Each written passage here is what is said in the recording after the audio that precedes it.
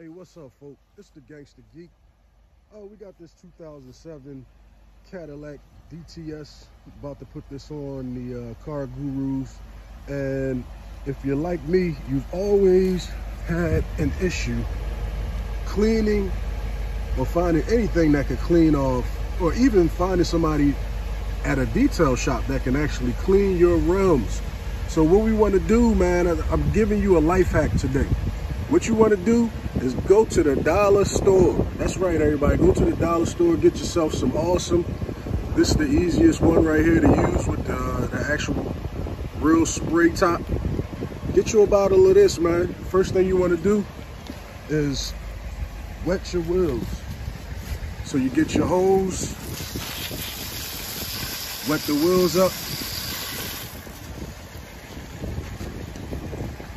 and then get in here I'm gonna just show you one one part. So obviously this stuff does not just come off, right?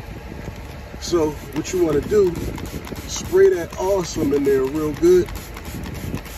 You're gonna need like, probably like five or 10, you're probably gonna need like 10, uh, 10 bottles of the awesome. Now you're wondering, I've used everything. I've used everything to try to get this off. Well, what I'm going to show you is the yin and the yang. what actually makes this work. So get yourself any regular plastic card, right? Any regular plastic card. And just scrape it like that. And I mean easy, just to the touch. It'll come right off it'll come right off. As you can see, this does not take any time at all. Keep it wet and you'll see that that brake dust is coming right off. That caked in brake dust on your beautiful, what, what will be your beautiful rims again. So it's a little bit time consuming because you got to get it all done, obviously, but it's better than replacing your rims because this can make a car look really ugly. Real quick. I'm to show you the difference.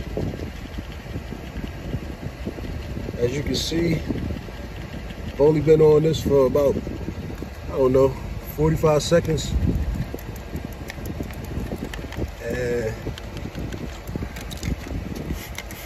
Spray that again. Now, get your get your hose.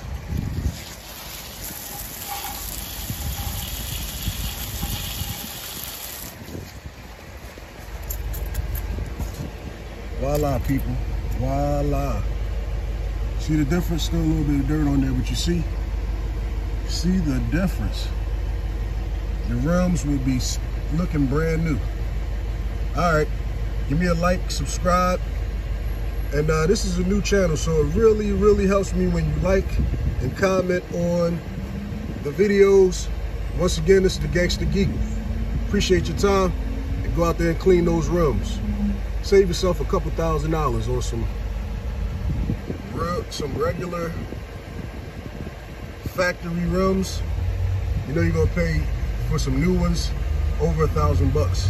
Maybe a couple thousand bucks, depending on what car you want or, or, or you own. So thank me later. And if you have anything that you want to see a video done on, let me know in the comment section. Peace.